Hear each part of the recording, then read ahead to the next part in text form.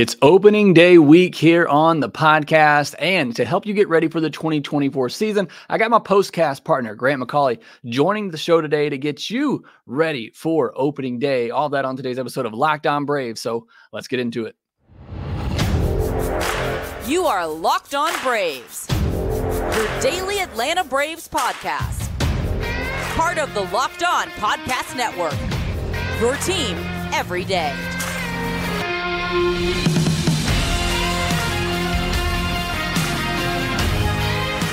Hey, and welcome back to Locked On Braves, part of Locked On Sports Atlanta, where we cover your favorite Atlanta sports teams each and every day. I am your host, Jake Mastriani. You can follow me on social media at Shortstop Ball. Also, make sure you check out my written work at bravestoday.com. Follow the podcast on social media at Locked On underscore Braves. Send in any questions, comments, or feedback that you have for the podcast. If you're new watching on YouTube, do me a favor, hit that subscribe button. We're just a little under 300 subscribers away from 10,000. You can help me get there by hitting the thumbs up button on this video. If you're listening on the audio form, thank you so much as well. Make sure you leave me a five star review, whether it be Apple, Spotify, wherever it is that you consume Locked On Braves. Thank you so much for your support of the podcast. Getting ready for a big season here at 2024. I got Grant. I'm going to bring him in in a second as we preview the upcoming seasons. We're just a couple of days away from opening day. Before we do that, though, I want to let you know this episode is brought to you by Prize Picks, the easiest and most exciting way to play daily fantasy sports. Go to prizepicks.com slash locked on MLB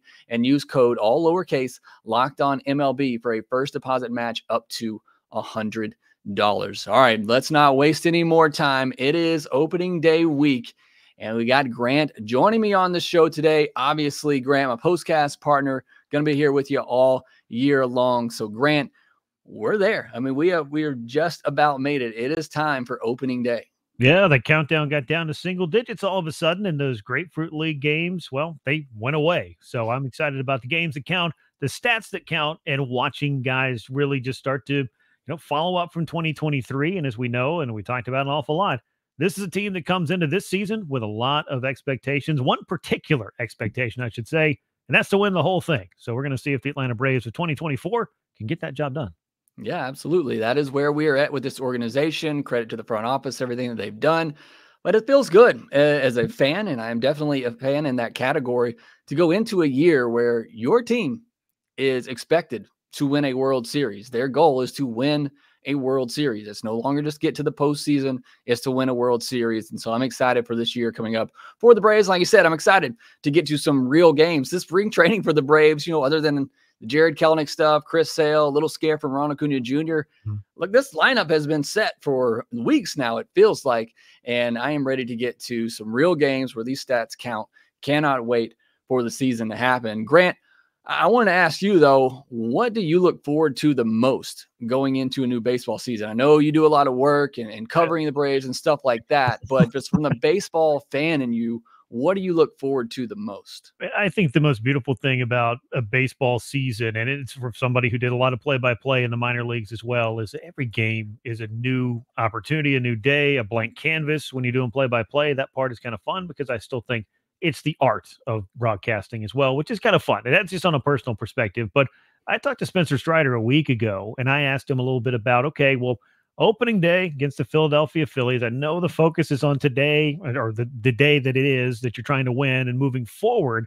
But is there anything that you think about from the last couple of seasons ending in Philadelphia? And he said, you know, not really. If there was something we could do on day one that would atone for, you know, the last couple of years, then that would be great. But that's just not the case. And Eh, seeing the focus be on the one day at a time mantra or mentality in getting to their bigger goal, which is winning a World Series.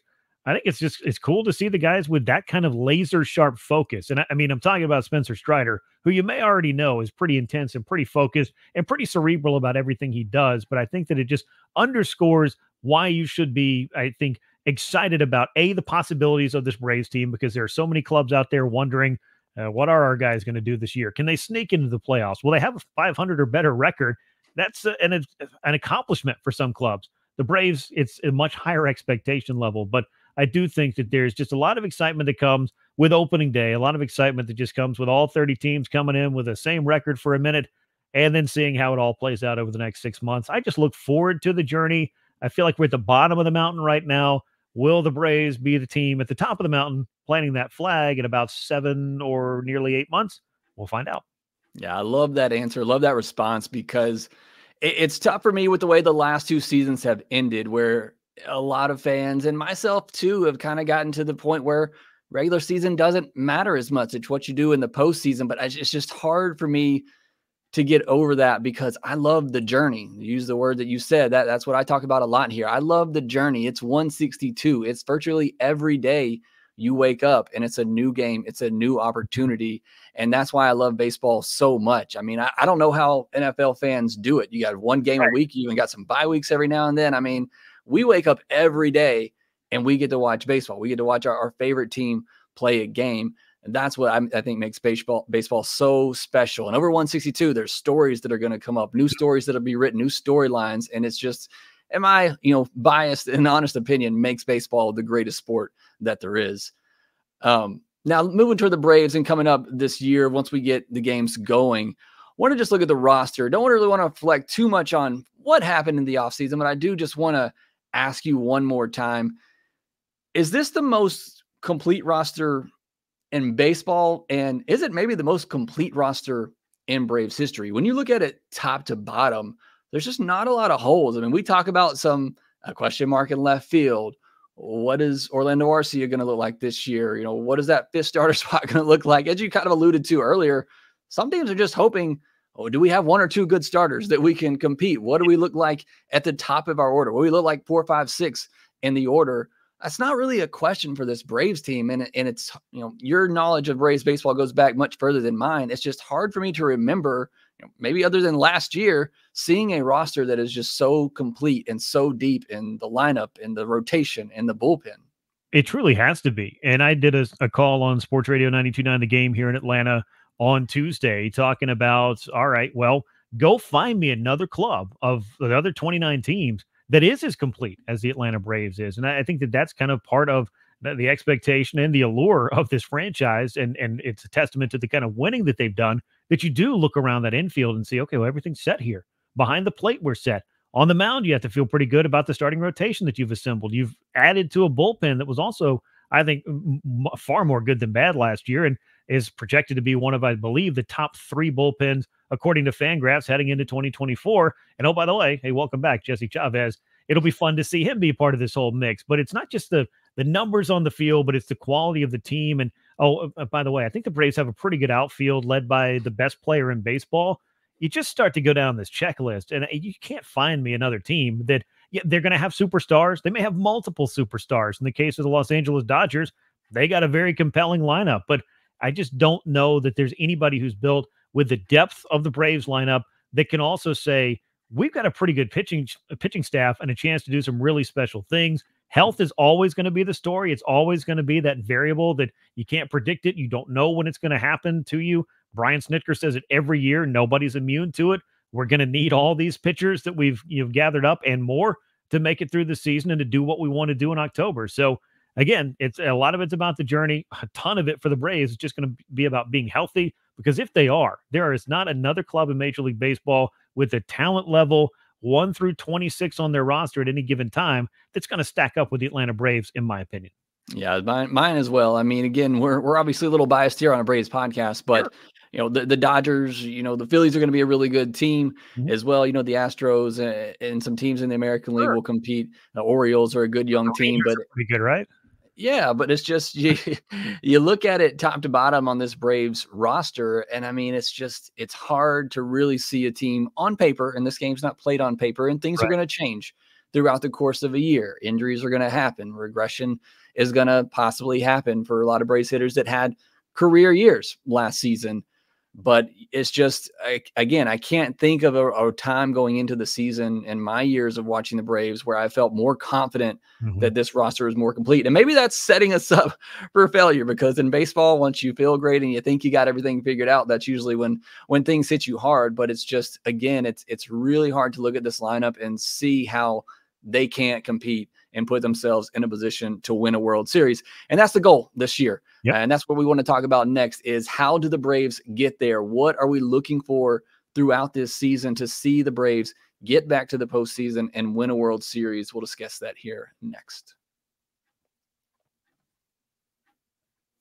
March Madness is here, so is opening day. But for all you basketball lovers out there, that is the biggest moment in all of college baseball hap- or college basketball happening right now. Be part of the action on prize picks for both men's and women's college basketball. Prize picks offers injury insurance. So your player gets hurt in the first quarter or the first half of the game, doesn't come back. That won't count against you in your entry and it will stay alive and that player will be removed. Prize picks also offers weekly promotions that can lead to big payouts and Prize Picks is really simple to play. I can make my entry in just under 60 seconds. And with opening day week coming up, there's going to be plenty of chances to get in on all the MLB action where all you got to do is pick more or less on your favorite teams and players. That's it. It's really that simple. Just pick two to six players or a groups of players and decide if you think they'll have more or less on strikeouts, home runs, RBIs, hits, all of that. You got Spencer Strider on opening day. We'll see what the what the pick more or less will be with him on his strikeouts, but you want to get in on that, you can do so over on prize picks. All you have to do, download the app, use code locked on MLB, all lowercase for a first deposit match up to $100. Again, download the app and use code locked on MLB for a first deposit match up to $100. Pick more, pick less. It's that easy with prize picks. All right, Grant, I want to get back into our discussion here.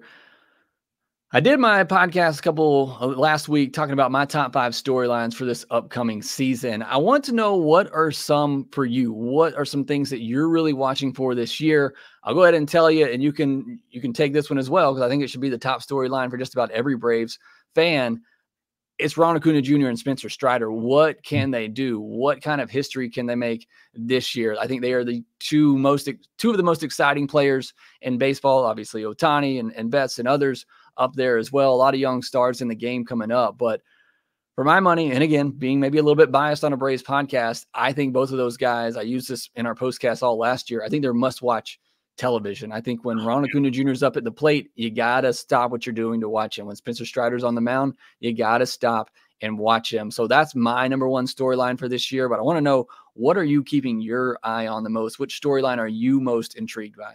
I mean, Ron Acuna Jr.'s encore to what he did last year has me just fascinated and, and tantalized by the possibilities of what can this guy do. When he showed up for spring training, it wasn't like he spent the winter just taking it easy and kind of coasting off of that 40 70 season and all the history he made and the huge stats he put up. No, the dude went and played winter ball. He came to spring training early. I know he had the little scare with the knee after the rundown, but everything is good. All those boxes have been checked. And I think he's just primed for what could be a season in which he's kind of the only guy that can do what he's done. I mean, historically speaking, he is the only guy, but you know, he was asked about, okay, well, what other goals do you have now that you've done 40 70? That never happened before. What about 50 50? And he just kind of smiled and shrugged his head and said, I'm not going to put any limitations on what it can be. He's also not going to sit there and tell you what stats he's going after. But Ronald Acuna Jr.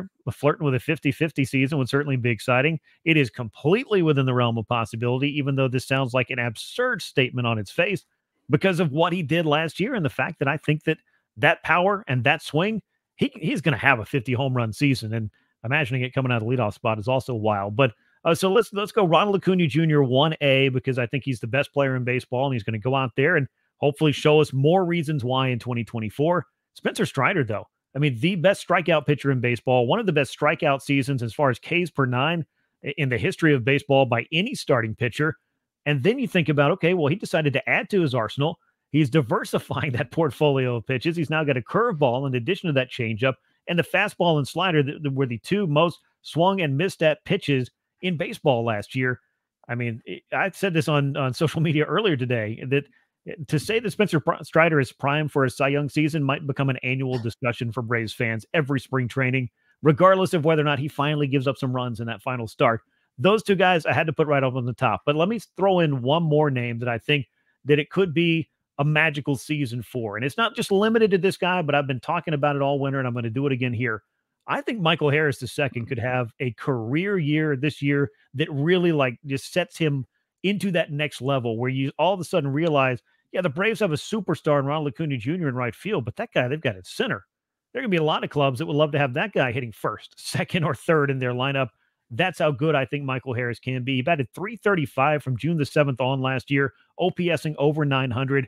He's a 2020 player a year ago, just about Uh, and I think he could be a 30 30 player. And once he gets into his prime, uh, as his power just seems to be coming on and being added to in each of the last couple of years, and he's just a special player defensively. So you put all that together, and all of a sudden you got a 23 year old superstar in the making out there in center field. I'm excited to see what Michael Harris II does this year.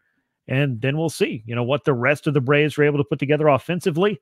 I think that this lineup, again, much like Ron Acuna Jr. said, don't set any limitations because what they did last year, they have, uh, as they say, run it back and brought back most of this group. Can they push another 300 home run season? I would not put it past them. And in fact, uh, as expectations go, I think that might be one that a lot of people have is uh, power, power, and more power up and down the Braves lineup on display this year. That's what makes it so dangerous. It's another thing we talked about on the postcast a lot last year. It's just power from top to bottom. Anybody can get you. I'm right there with you on the Michael Harris train. I think he's in for a big season. Like you said, Acuna is a superstar. Mm-hmm. I think Michael Harris is going to show that he is at least a star in this game yeah. more nationally. I think he's going to get to an all star game this year. I think he's going to have, I'm not going to go 30 30 this year, but at 25 30, 25 mm-hmm. 25, I think is certainly uh, within the realm of possibility. I mean, I think he's going to have more than that in his career, which I think is what you were you were yeah. saying there. But and I mean, think about it this way too with Michael Harris. Uh, just to throw this in there, I mean, he started so slowly last year, mm-hmm. and to get from basically 2020 was where he was right on the cusp of last year to 25 25. That's what one homer and one steal a month. I think Michael Harris can do that. Yeah, no, absolutely, and I think he can. I mean, it is it is crazy. We talked about it. I mean, he was by OPS, one of the worst hitters in baseball for a month yep. and a half last year. And, you know, I think the back issues and, and, the slow start had a lot to do with that. But once he got going, I mean, you look at those numbers that you mentioned, he was one of the best players in baseball for a, a long stretch last season. And moving up into lineup, I think you're going to see some of those counting stats go up as well. So expecting a big year for Michael Harris. Maybe he wins that gold glove this year as well. Something I think he'll do at least one time in his career. So pumped up for that. One thing I got to ask you though, we talked about Acuna and the numbers and the history that he could make. I know you were the 40 40 tracker last year. Are you doing a 50 50 tracker this season? I don't know that I am uh, bold enough to put a 50 50 tracker out there. I, I'm this close to it, I guess, but I am going to look to run a tracker that will keep up with the home runs and the stolen bases because I think it's a story regardless. I mean, 40 40 was a goal at one point for Ron Acuna Jr.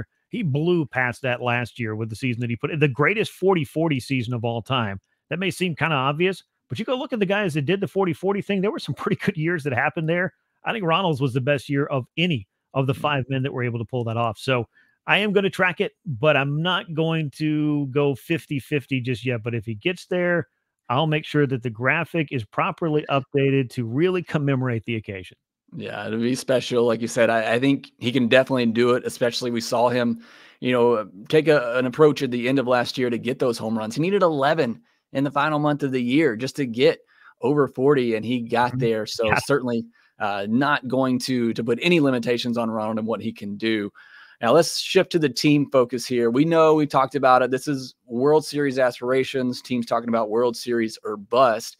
Is there anything specifically in the regular season that you'll be watching for that will perhaps tell you if this team's more equipped for the postseason run this time? Anything in particular? You know, do you think they'll look to manage innings of Sale and maybe others? Do you think position players will be given some time off? I mean, it's really hard to to to look at what happens in the regular season. I, I, thought last year's team was more perfectly set up for the postseason than than any other time. They didn't strike out a lot, which is what you you look for in an offense. You know, when it come postseason time, are they gonna they have issues striking out? That wasn't the case for this offense last year. They had the highest average in baseball, and also mm-hmm. uh, we're in the top ten of, of not striking out as well. So uh, again, it's hard to really you know look over 162 and, and point to something, but you know, is there anything in particular over the course of this journey that you'll be looking at to set them up for the postseason? No, it's it's interesting because I know everybody looks at it with the idea of okay, well maybe if there was you know a little more rest day for this position player or that position player. You know, Matt Olson has said it time and again is like I like knowing that I come in, I'm playing every day, I'm in this spot of the lineup, and I can go out there and get my work done. And if I need a day, I'll let Brian Snitker know that I need a day, and mm-hmm. that's how Snit allows this you know clubhouse dynamic to I think foster that desire to be out on the field above all else. And I'm not saying play hurt and, and through injuries that you shouldn't be playing through. They'll evaluate that stuff as it comes along. But I think there's a lot of value in the fact that you have guys who do want to be out there every single day. asked Austin Riley about his slow start last year, and he said, "Well, you know, regardless of where I'm hitting or whatever the case is, I know I'm going to be in the lineup every day, and I know I can't help the team or get out of this slump sitting on the bench." So I feel like that there's there's a lot of uh, you know both sides of the coin can be true. Maybe the occasional day would be helpful for some guys, but just because you got a day off in June doesn't mean you're going to be fresher in October. I'm not a believer in that. And if anything, I think the Braves would love to have fewer days off when they get to October somehow. But I don't know how you solve for for X on the playoff rest thing. I know that's been talked about a lot. We're not going to solve it here on this edition of the postcast, but I really look for more of the same from the Braves because I feel like you know 2022 was a crazy you know chase down the Mets and finally overtake them at the very end of the season, get into the postseason, and it felt a little bit different last year. I just felt like they went through the whole progression of the entire season, including getting off to their best start in quite a while, and were right where they wanted to be. And then they had to kind of wait around. And I don't know how you fix that again, but I can't point at anything in the regular season that I, I'm, I think that they have to do differently than they've done in years past. Be careful with Chris Sale. I think that, you know, he'll be able to dictate a lot of that based on how he's feeling and his communication with the team. They're not asking him or Charlie Morton to go out there and throw seven or eight innings every time out. You've built a bullpen behind these guys that can really allow you to get in there in the sixth inning and figure out the matchups that you need to because you've got an offense that's probably going to be putting up better than five runs per night based on what they did a year ago. It's just, again, this is an incredibly well built club. I think they're certainly built well for the marathon of the regular season. And I think that they've got to find their way to put it all together in the postseason. And that is going to be the big challenge for them. And they know that. Yeah. Yeah. Again, we don't have the the answer here for that. Uh, even last year, I thought they did a good job with the Me with too. the pitching staff, and, and in fact of just giving guys an extra day of rest when they needed to, when you had those off days, and utilizing that. I, I thought they did a good job of that. It's just you know unfortunate. I, I think they even you know kind of somewhat slow played Max Fried coming back to make sure that they gave him plenty of time to get ready, and then had the unfortunate blister injury. Charlie Morton unfortunately gets hit hurt at the wrong yeah. time which you know it wasn't the pitching's fault. I know we've been all over that. The, the offense didn't right. show up, but I thought right. they did everything they could last year, and they had plenty of time to prepare for the postseason. It's just what do you do with those five days off? And I'll, I'll ask you this, and I'm pretty sure I know what your answer is, but I don't think the answer is to just give away the division and go into that wild mm. card series. I, I don't think that's going to help either because that brings its own dangers. You have one or two bad games in a three game set, and you're out just like that. Right, and, and that's the thing is like they're not looking to give away what they feel like is a firm seat at the table for a wild card entry into the postseason. Now, if that's the way it plays out, hey, that's the way it plays out. But you don't want to start taking, I, I feel like, your foot off the accelerator or trying to change the way in which you're competing so that you can kind of slide into it. Like teams just don't think that way. They are mm-hmm. trying to go out there and win every single day. Does it work out all the time? No. Did it work out uh, basically two out of every three times for the Atlanta Braves in the regular season last year? It did. And that's when it, why I felt like this was a team that was ready. This was a team that spent its off days trying to simulate as much as possible, you know, uh, facing competition and getting themselves out there and taking it much more seriously than they did in 2022 when everybody was experiencing that layoff for the first time among the higher seed teams.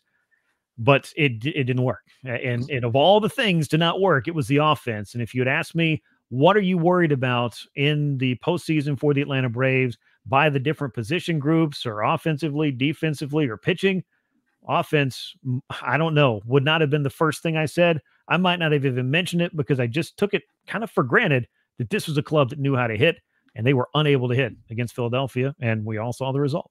Yeah, we're all still kind of scratching our heads at that one. The the most yep. the best most powerful offense this game's maybe ever seen not just last year, but in the history of the game, and just couldn't figure it out after that five day layoff. So, again, the Braves are going to go for it. They're going to win that division. They're going to go for that top seed in those byes once again. And if that happens, they're just going to have to figure out a way mm-hmm. to get the offense going from the jump or maybe get a little bit easier matchup in the first round. The Phillies are a really good team, and the Braves have had to draw them. They've had to draw them in the first round coming off those bye, byes the first two times. So uh, again, I want to face the Phillies. I want to get over that hump and get past them, but that is a really tough matchup in the first round when you're coming in off five day off on five days being pretty cold. Uh, next, I want to just ask a couple of prediction questions for Grant, what he's looking for this year, get some of his thoughts on that. We'll talk about the Jesse Chavez news and more here next.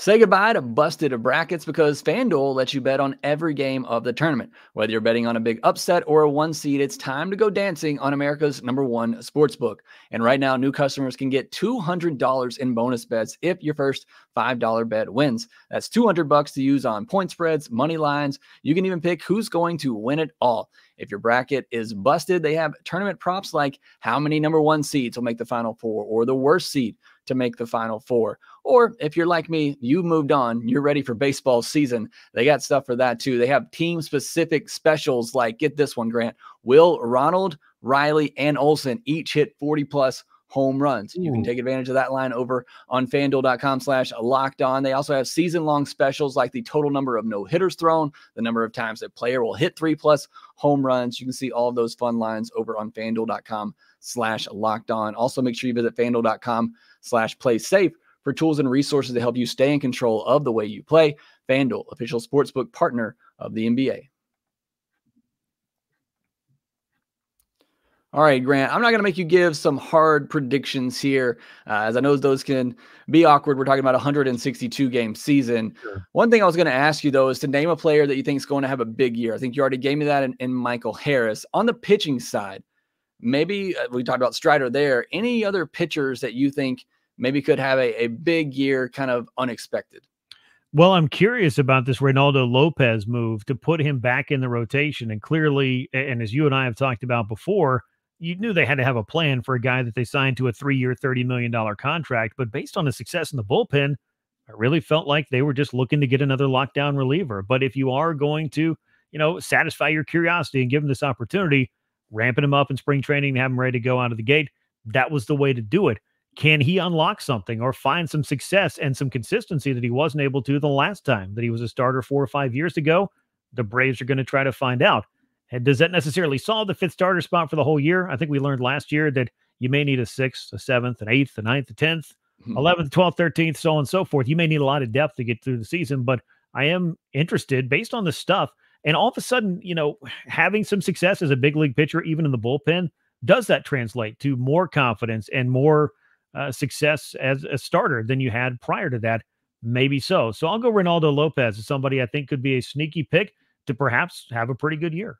Yeah, and it could come as a starter, right, or as the reliever. Right. I mean, if it gets to the point where you know the Braves are just very fortunate in the rotation, and and he moves back to the bullpen, maybe AJ Smith-Shawver, Hurston Waldrop proves that they're mm-hmm. ready at some point, or maybe they just want to manage Lopez's you know workload because he hasn't been a starter in a while, and he moves back to the bullpen. He suddenly becomes one of the top relievers in the bullpen. So yes, I think he could have a major impact in many ways. Or if you get to the postseason and you don't need a fifth starter, and yeah. he goes back to the bullpen, big arm. could be yeah another good dynamite arm that you can have coming out of the bullpen in the postseason as well. So I like that. That's a good pick as well. All right, let's touch on the news of the day because Braves le- legend Jesse Chavez is back. We know that, and now we know he's going to be on the opening day roster. Unfortunately, Jackson Stephens takes the cut there as the Braves outright him.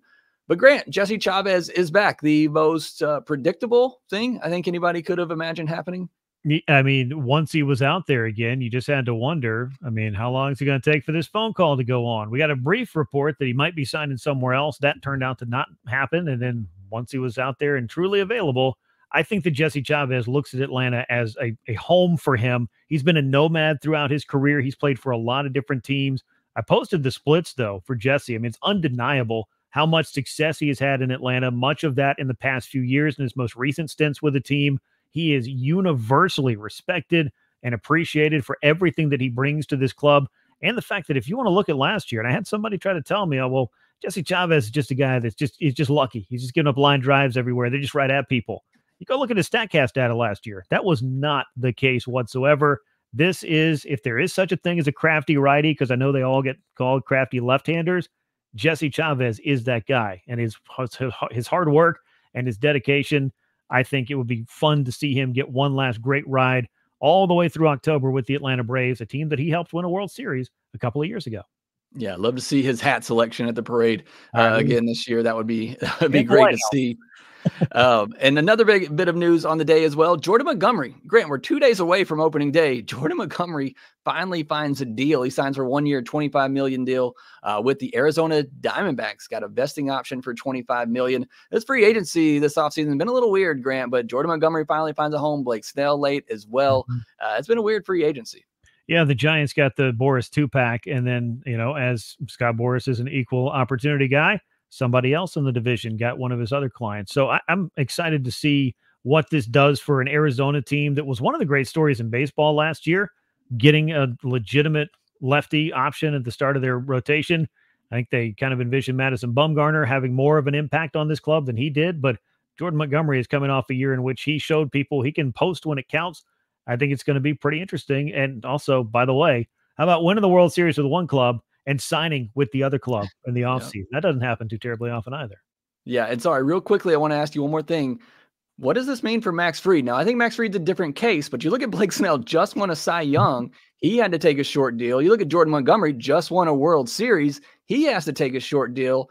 Max Fried looking at this and maybe getting a little worried about his upcoming free agency? I don't know if it's worry, but I mean, you have to take note of it. And Fried's a smart guy. He's a Braves player rep. I mean, he understands the intricacies and the you know, I guess the the pitfalls and perhaps the wins that you can find in free agency in terms of finding that new contract. But I think that Fried, you know, from from talking to him in spring training and everything that I've heard about him discussing his free agency and really putting it off to the side, he is focused on the here and now. I know he loves being in Atlanta. I know he loves the team that he's playing with and the guys that he's come up with and grown into, the big league pitcher that he is. And I also know that he would be an incredible asset for the Braves moving forward. So I think there should be some motivation maybe on both sides to kind of look at it and say, okay, given recent events, maybe there is a deal to be had here that would be a little bit different than trying to sign a position player to a multi year deal when he's walking into free agency.